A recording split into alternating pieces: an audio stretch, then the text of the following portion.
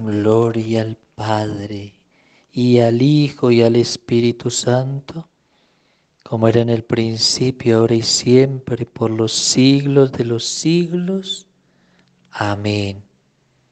Oh Divina Trinidad, ilumínanos con tu palabra, fortalécenos con tu palabra, guíanos con tu palabra como la Santísima Virgen, deseamos vivir tu santa palabra. Amén. Amada familia, el Señor esté con ustedes. Les anuncio la buena noticia de nuestro Señor Jesucristo, según San Marcos. Gloria a ti, Señor. En aquel tiempo Jesús subió a la montaña, llamó a los que él quiso y se fueron con él. A los doce los hizo sus compañeros para enviarlos a predicar con poder para expulsar demonios. Simón, a quien dio el sobrenombre de Pedro, Santiago el de Zebedeo y su hermano Juan, a quienes dio el sobrenombre de Bonaerges, los truenos, Andrés, Felipe, Bartolomé, Mateo, Tomás, Santiago el de Alfeo, Tadeo, Simón el cananeo y Judas Iscariote que lo entregó. Palabra del Señor. Gloria a ti, Señor Jesús. Y el Señor escogió a doce apóstoles. Entre ellos como signo del fundamento de la verdadera fe radicada en las doce tribus de Israel y ahora para su pueblo nuevo, su iglesia santa fundada por él, escoge a doce fundamentos.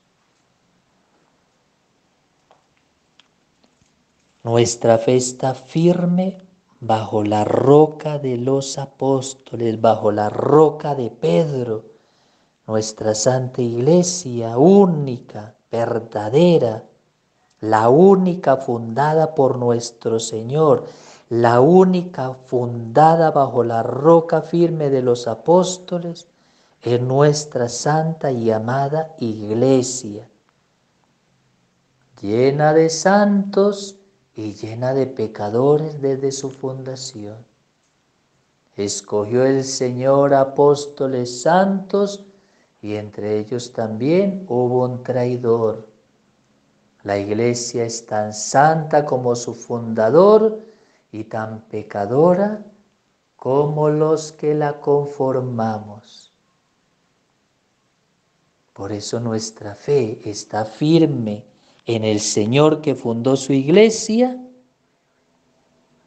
y aunque débil y pecadora, camina hacia la eternidad nuestros santos apóstoles, los santos apóstoles bajo los cuales está fundada nuestra iglesia, dieron su vida por el Señor. Entre ellos hubo un traidor que se ahorcó por haber traicionado al Señor. Así es nuestra iglesia, débil, pecadora,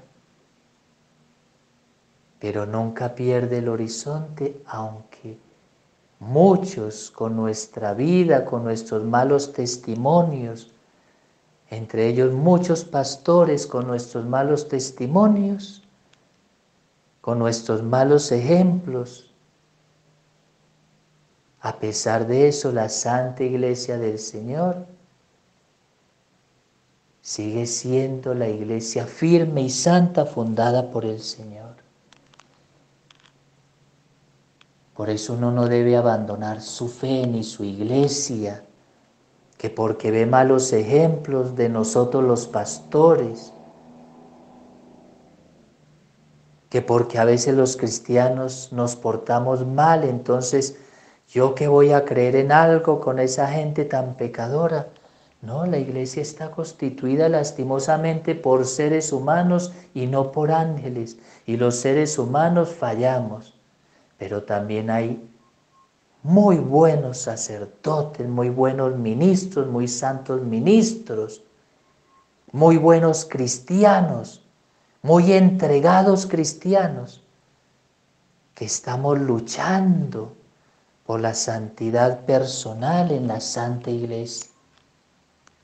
Por eso hay que estar siempre de rodillas ante el Señor como iglesia, orando los unos por los otros orando por nuestros pastores, orando por el Papa y por los obispos, por los sacerdotes, por los consagrados. Y si vemos algún mal ejemplo en alguno de ellos, si los fieles ven algún mal ejemplo de nosotros, oren mucho por nosotros, pero no nos abandonen que todos nos necesitamos a todos para poder superar las pruebas de todos. Débiles somos, pecadores somos, pidiendo la misericordia del Señor. Orando, orando como iglesia, pero nunca abandonando ese fundamento sagrado de la iglesia verdadera.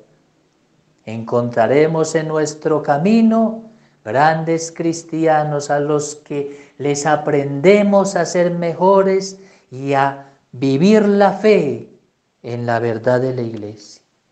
Encontraremos en nuestro camino malos cristianos y malos pastores por los cuales debemos orar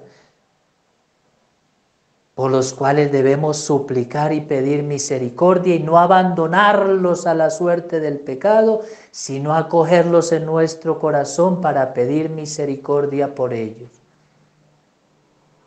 O sea, los cristianos deben orar por nosotros los pastores que somos débiles y pecadores y que necesitamos de la gracia y la fortaleza de Dios constante.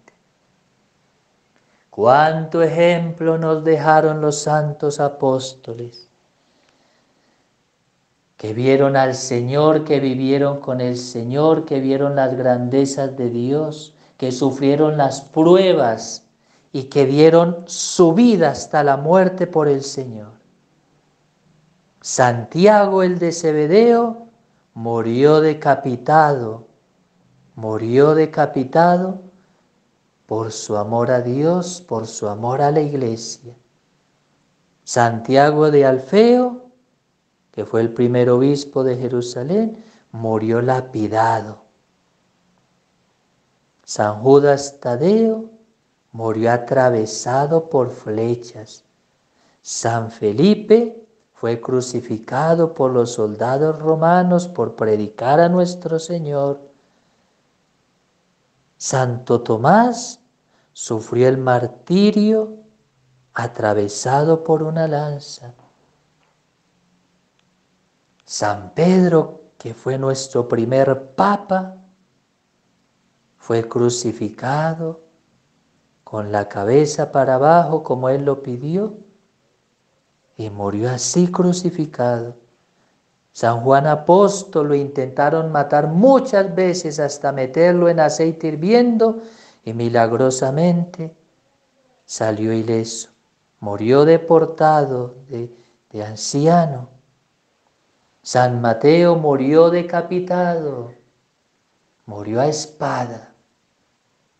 San Simón murió crucificado también, entregando su vida por el Señor. San Bartolomé fue cruelmente degollado y después decapitado. San Andrés fue crucificado en forma de X como una burla al Señor y así murió.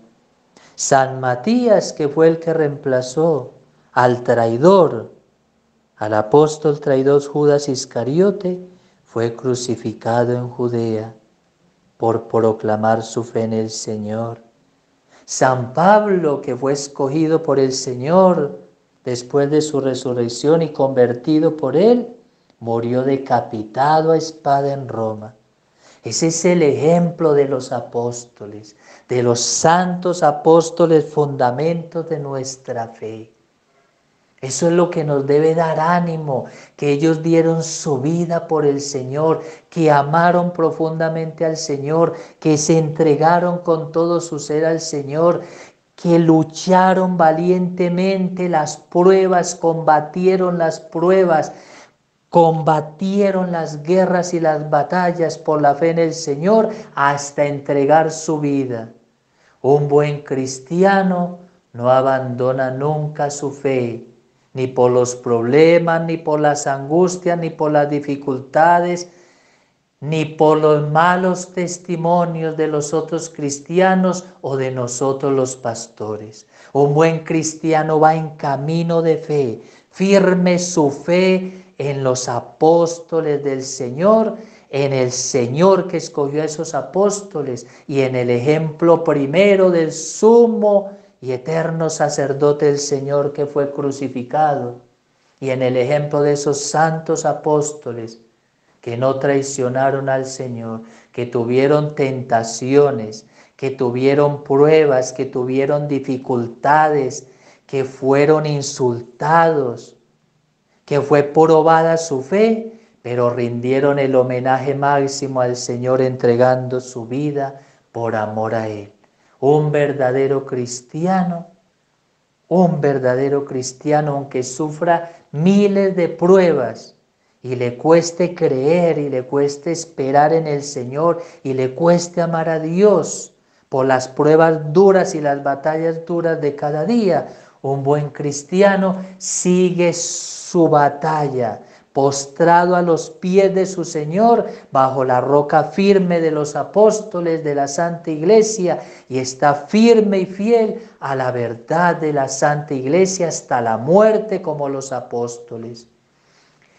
Seguir el camino del Señor, seguir la vida del Señor, seguir la verdad del Señor podrá costar la vida y miles de combates en este mundo. Pero al vencedor al vencedor se le dará la corona en la eternidad. Sigamos luchando, sigamos siendo cristianos cada día más. No nos dejemos vencer por esas pruebas. No nos dejemos vencer por las pruebas y las tentaciones.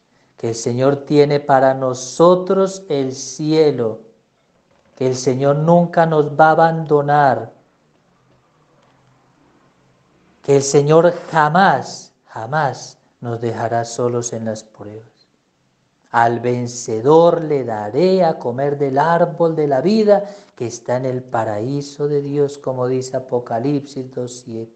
Seamos cristianos que vamos en camino de batalla, amando al Señor que nos llamó e invocando a los santos apóstoles, fundamentos de la Santa Iglesia, que entregaron su vida por la verdad del Señor, por amor a su Señor, por amor a la Santa Iglesia y su sangre, su sangre santa, nos da la fuerza para seguir adelante y nos da el ejemplo para combatir las batallas de cada día.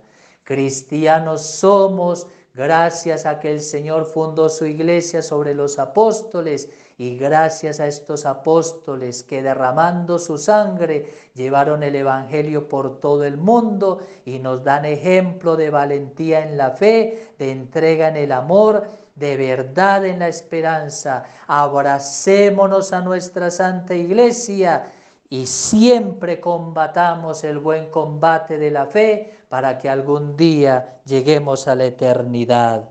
Amén, amén, amén. Gloria al Padre y al Hijo y al Espíritu Santo, como era en el principio, ahora y siempre, por los siglos de los siglos. Amén. Digamos todos, gracias Señor Gracias por la Santa Iglesia.